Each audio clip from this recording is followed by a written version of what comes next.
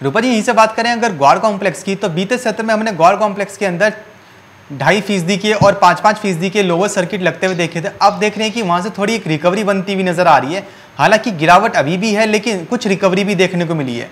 तो रूपा जी, अब आपको क्या लगता है? क्या ग्वार में इसी तरह से उठापटक का माहौल जारी रहेगा और ग्वार की कीमतों में कभी लोअर सर्किट तो कभी अपर सर्किट लगते रहेंगे?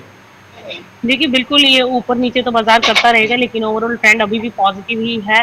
बाजारों के अंदर वापस से खरीदारी आते हुए हम देख सकते हैं और मुझे लगता है कि ग्वार जो है अगर अब यहाँ से वापस से तेज़ी पकड़ता है, अभी दस हज़ार का सपोर्ट लिए हुए हैं, अक्टूबर वायदा की बात करें तो दस हज़ार के आसपास अगर मार्केट सस्टेन रह जाता है तो वापस से तेज़ी जो बनेगी वो बारह हज़ार तक ऊपर जाती हुई दिखाई दे जी।